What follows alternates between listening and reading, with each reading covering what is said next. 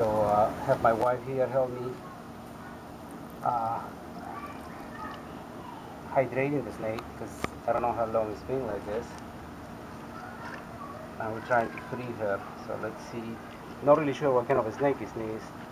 This might be, but uh, I can tell that she needs or he needs our help.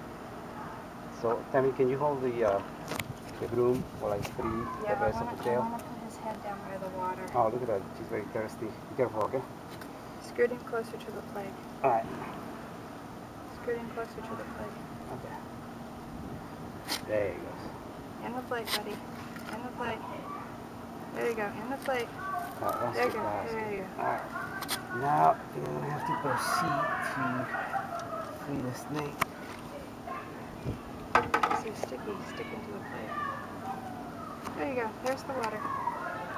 But I do know that you a snake Here's the change their skin every so often, so I'm hoping she does that Yeah, here's some water so for she you. can get rid of this. There you go. There's stickiness. for you. Hey, we're almost there, buddy. Okay. Oh, she's already feeling better. Look, she's holding her head up. Man, this thing smells nasty.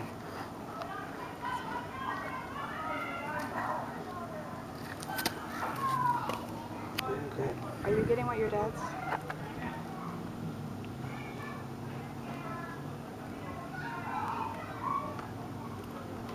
Okay. Okay, she's almost there. Oh, She's just almost there. She's drinking. Get a get a picture of her drink.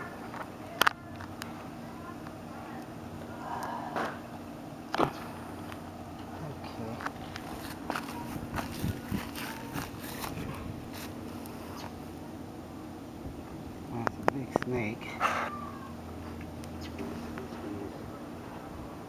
I think the best thing is just get the glue on my glove and Yeah.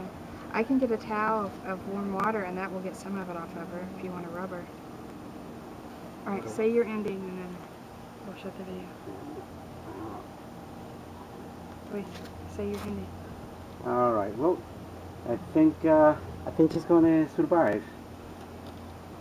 He still looks pretty strong and uh, good luck to the snake.